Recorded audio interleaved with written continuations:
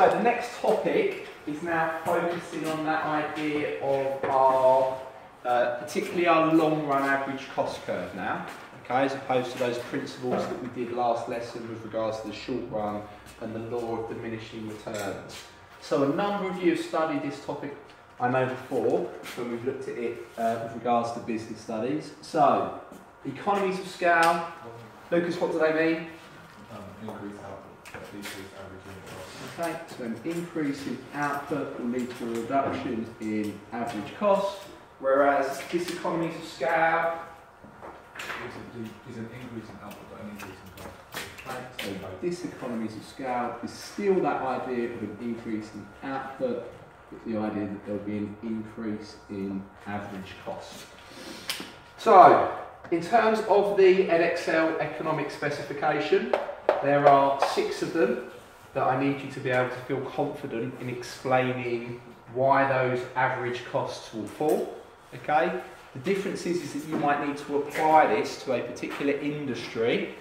And so on our video, we're going to look at the idea of uh, cruise ships as part of that process.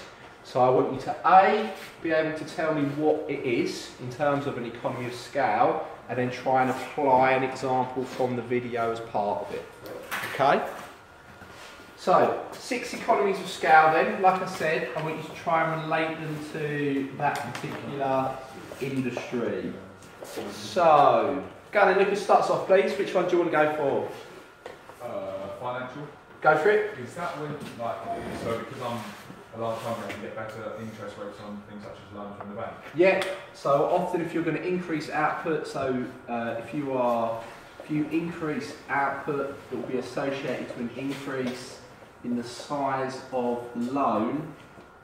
If you have a higher output, not only might the loan get bigger, but also there will be considered less what attached to that loan.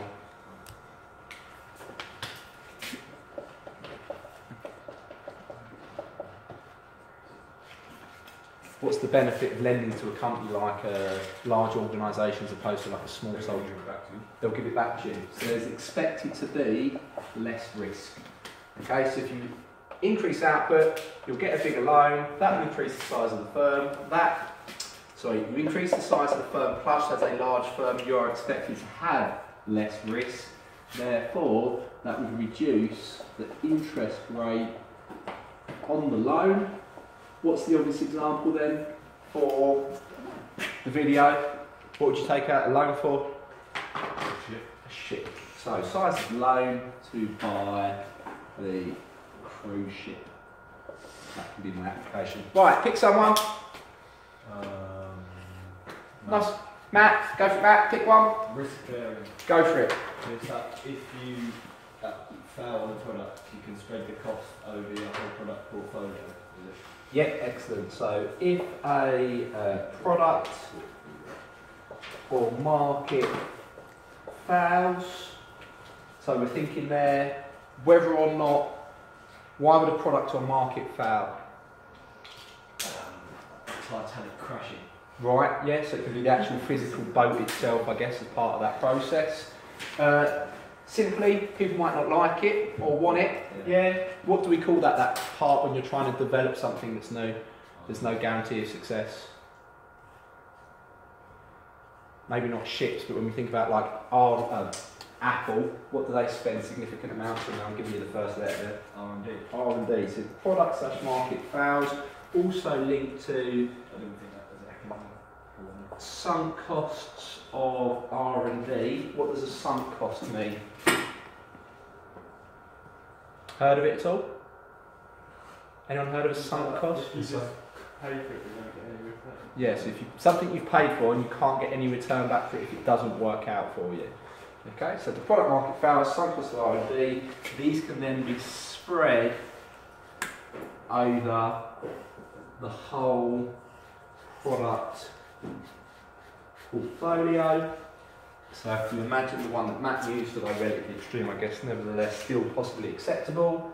So if there was a uh, boat that sunk, then that can then get spread over future trips, which will reduce that average cost.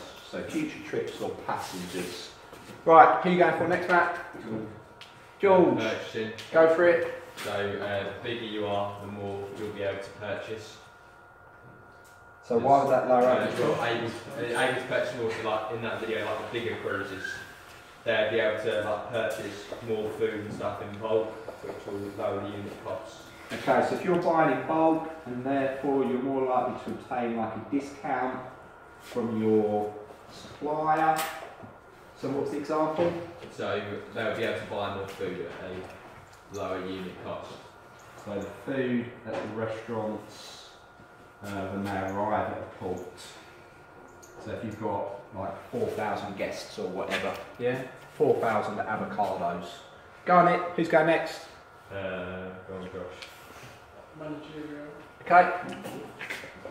So you mainly need like, let's like merger, get rid of one CEO or you could like mainly one person in charge of each Okay. thing. I'm not going to disagree with that with regards to the idea of organisations coming together, but what about if it's just a simple idea that you've increased the scale, so you're running more trips, or you've got um, like a larger boat as part of it? What, what is the job of a manager? What are they there to do? Keep that organised, so that people like it. Right, so in that sense, the idea of like organising your factors of production, yeah, a little bit linked to the idea of enterprise to some extent, but a little bit lower down. If you've got a bigger organisation, what should happen to the quality of these? Why is that? You're right. If you're a good manager, where are you going to want to work? Best companies, yeah. So you, you might need to offer them a premium to get them to work there, but by having the best managers, what should you hope that they're able to do to your workforce? Right, perfect. So it's linked to that. So a large organisation, they will have the uh, either the brand or the uh, salary to be able to obtain the best managers that should then be able to coordinate the factors of production to increase productivity. For example, in a cruise ship, Josh. Captain. Okay. Yeah. So it could be the captain. Head chef or something. Yeah. So they can try and like reduce waste. They can make their cooks more productive with what they do. The captain could possibly try and make people on the ship more productive or use less fuel with what they're doing. Okay. Two to go. Who you going for? River. Rivu. Technical or marketing? Uh, technical. Go for it. So big, bigger companies will already have the resources and uh, technology required to like innovate. Right. So you can apply technology in production. So when I use phrases like CAM, what does that stand for? Computer system manufacturing. Yeah, computer assisted manufacturing, and that would hopefully obviously increase productivity. There is another one as well, you may not have heard of this, uh, it's referred to as the law of increased dimensions. Something that you've ever heard of at all? No? The law of increased dimensions. I will explain that. When we look at the idea of technology, what's the technology that we can then use on a boat? Um,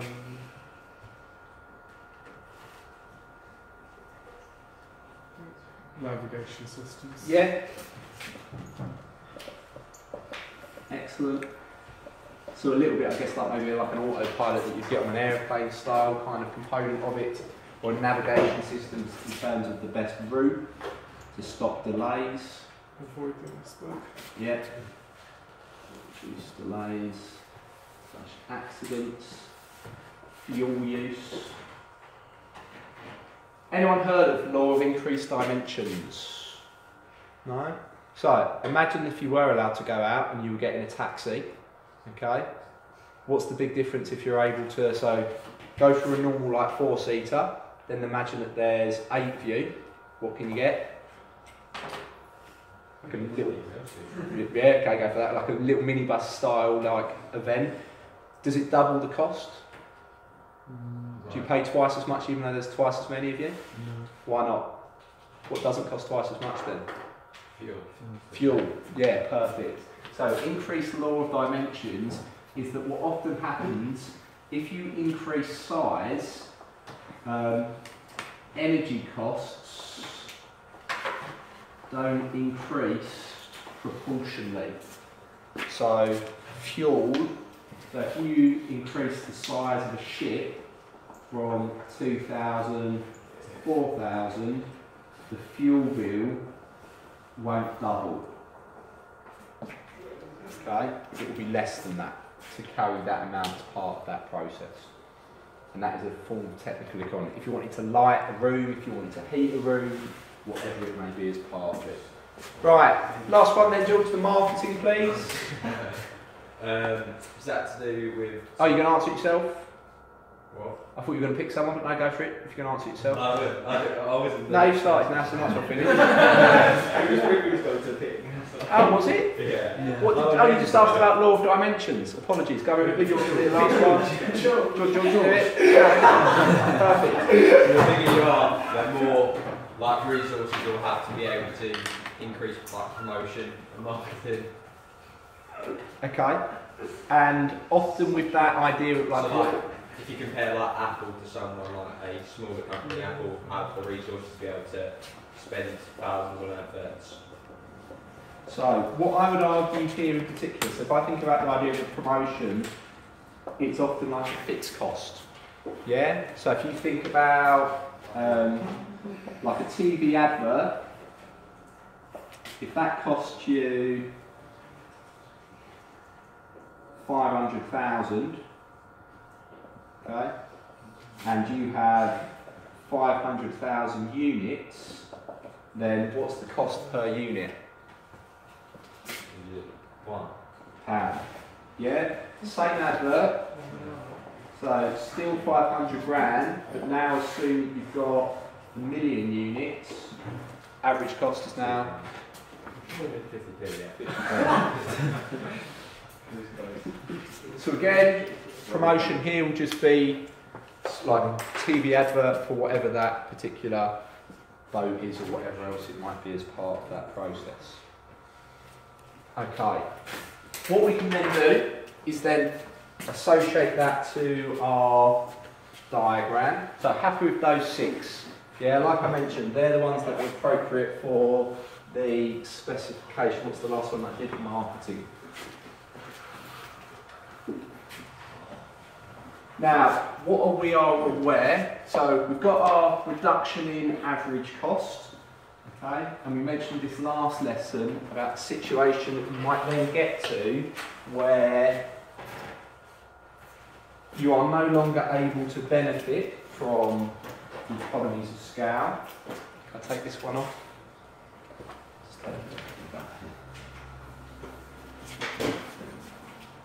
So, probably what's most realistic, if we think about it, so quantity, cost, so we've got this idea here, so average cost as we increase output is falling. And that's where we've got our economies of scale. At a certain point, so for example here, where average cost isn't changing regardless of output, what's the logic there? Why might it not change or get, why can I not necessarily get any lower? Back There's a minimum wage point we get to, so that you can't. If we're thinking about it as an average cost, what might, what must my workers have had to have become that I can't make the unit costs any cheaper? Oh, what, like efficient? So I, I can't get any more productive.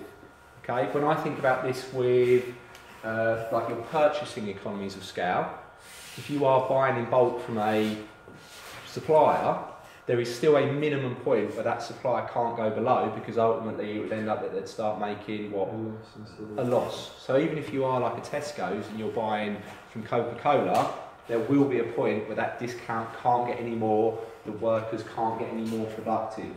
Can anyone remember what this area is called? Constant. Yeah, constant returns to scale. Okay, so this is a situation, for example, where you are unable to obtain um, any more economies of scale. So, for example, your workers are like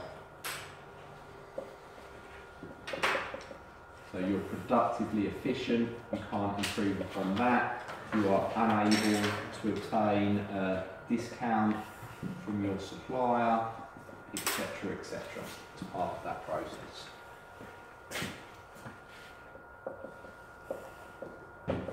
Otherwise, they've been making like a loss.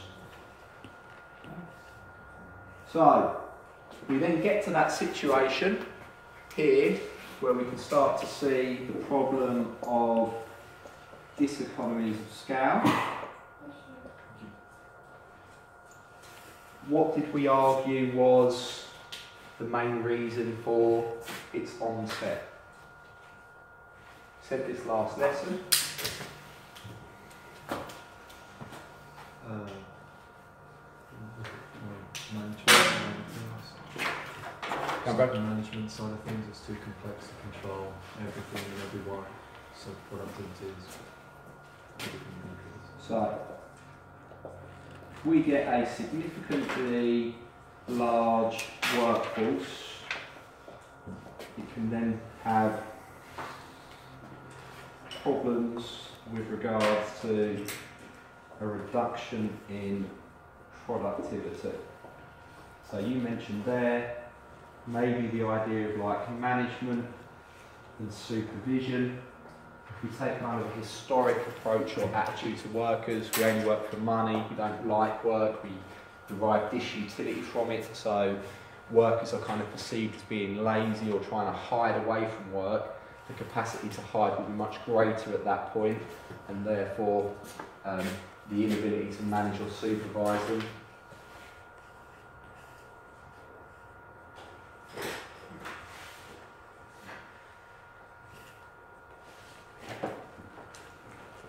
Yeah. What else did we say? How's it going to make you feel being part of an organisation? Alienated. Alienated, yeah. What was the logic? You just one worker out of like, like in that scale, like over a million. And you don't feel like you have a purpose in the company, you're just there 'cause you have to be. So the idea that you're kind of like a number rather than a person in terms of how you're treated, that can lead to demotivation, and again, your productivity will start. Finally, what was the other aspect that we've mentioned as well? When we talk about the idea that you are employing so many people, when you are the single buyer, so a monopsony buyer of labour, they often face what in their labour market? So there's often an increase in trade union density. Why is that? Harley, you mentioned it.